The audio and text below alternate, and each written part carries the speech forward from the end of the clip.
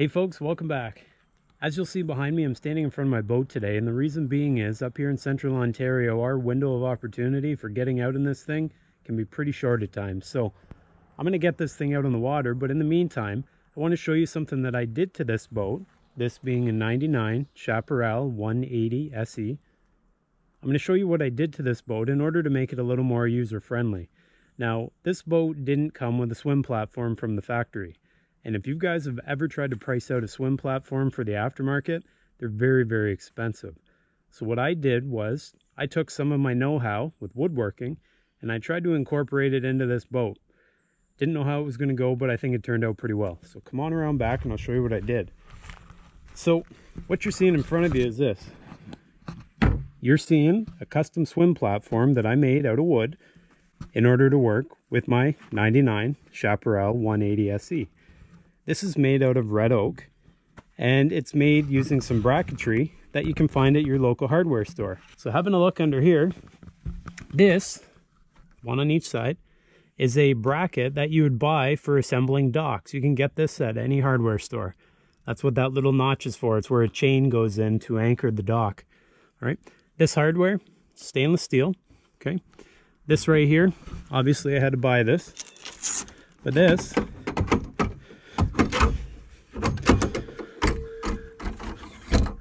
is a swim platform or a uh, swim ladder. So you can buy this on Amazon. I'll put the link in the description. These right here, this is where I had to get a little, you know, a little engineer if, is that a word? Anyways, I had to figure out a solution in order to support this without just relying on those brackets because that bracket would have way too much leverage since this swim platform is a few feet out. So I had to come up with something else that also wouldn't interfere with the motor. What this is, this is just a piece of gas pipe.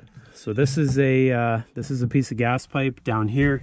Get right in there. There's some hardware. So that angle, I had to do a bit of figuring, but that angle is uh, just a standard angled piece from the hardware store, I think from Home Depot. This is just a, uh, a, a base that you can also buy from Home Depot. And up here is just a piece of stainless hardware. I had to flatten the pipe and bend it a little in order to secure it up to the top of the swim platform. So, hardest part here, getting the radius of the back of the boat correct. So this piece of wood right here, we look underneath, it's a radius, and it was the hardest piece. After that, all of these are just standard, you know, rips on the old table saw. This was the only tough one. I actually made a cardboard template in order to get it fitted to the back of the boat perfectly. Once I did that, and once I had a, a good contour of the back of the boat, it was up to me to, to determine what shape I wanted. I wanted something that stuck out, but it wasn't going to be like a big piece of plywood on the back of the boat. I needed it to look half decent. So I just decided on this little angle here, okay, I don't even know what the measurements are. I just sort of looked at it and said, yeah, that looks good. And then what I did, once I got that radius, I just had to figure out how I was going to support all those boards on the top. So what I did, as you can see, I've got a board or a section of wood that goes around the perimeter. And this is all screwed in to the top boards using stainless screws. And then from that perimeter piece, I then put a few pieces going perpendicular to the boards in order to hold those boards in place. And finally, swing around here, right above each bracket, I put a wider piece, which is also secured with individual stainless screws. And I wasn't I wasn't cheap on the screws. I put lots of those in. Okay, Let's swing around. You can see the other side here. So same thing goes. Now, this thing is a few years old now. I think overall, this thing is, geez, it's probably going on four years old.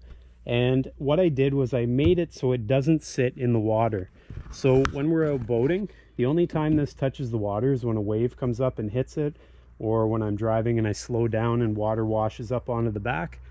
But if I'm just sitting, the water level is actually right around here, maybe even a touch lower. So this wood is never submerged for very long. One other thing I'm going to point out before I uh, forget about it is I didn't want to have an access panel. And basically what an access panel is, when you trim the motor up on these inboard outboards, they come up just like this. On some swim platforms that are mounted lower, there's a hatch or an access panel. What it allows is, it allows it to flip up so the motor, when trimmed up, doesn't hit this and get interference. I didn't want to deal with all that, so what I did was I just mounted it just above the highest point when it's trimmed fully upwards. The other thing I did in order to prevent some sort of interference was I mounted these so that they're as close to the motor as possible or as close to the outdrive as possible, but I can still turn to both extremes without it hitting. Now, the fun part, drilling into the hull. That was the hardest thing to convince myself that things would be okay. I drilled into the hull, and where I drilled was into a location where I could access from the backside. Reason being is I wanted to put backer plates. And these are backer plates. I don't know if you'll be able to see in the dark there. I think you probably can. If we swing down there, you can see the back of the bracket. The reason I wanted to do that was so that I could ensure that there was adequate support on the hull. When I get myself out on there, that's a fair bit of weight. If I were to put all that pressure on the back of the transom, well, who knows what would happen if I was just screwing willy-nilly into who knows what. And then what I did was I used some 3M adhesive. 3M makes a product specifically for attaching things through the hull that makes it waterproof. So I used that. And uh, ultimately, this has been going on four years, completely watertight, and I'm completely happy with it. So to keep this thing protected, you got to keep it from drying out. In order to do that, what I do every single year is I soak it in tung oil. This tung oil I use is made by Circa 1850. I get it at Home Hardware here in Canada. But that product there tends to do a real good job at keeping it protected. Now it's an oil, so it absorbs into the wood. I didn't want any type of sealant where it seals off the wood because if I ever get a hole in that or it breaks down and water gets in behind it, there's no way for that water to dry. So this allows for the absorption of the oil, which will keep the water out naturally and also allow for a nice finish. So if you don't have a swim platform on your boat and you've been thinking about it, what I can tell you is go ahead and try it. Just make sure you've got some basic skills in mind. You've got the skills to make a nice woodworking project and you've got some basic skills and you know using hardware and maybe doing some fine drilling and using adhesive, you probably will stand a pretty good chance of being successful on your project. If you have any questions at all about how I attached my swim pl platform or how I built it, please put it in the comments below. In the meantime, if you guys could make sure to hit that subscribe button and also check out all the other videos I got, I think you'll enjoy them. Take care and we'll see you guys all next time.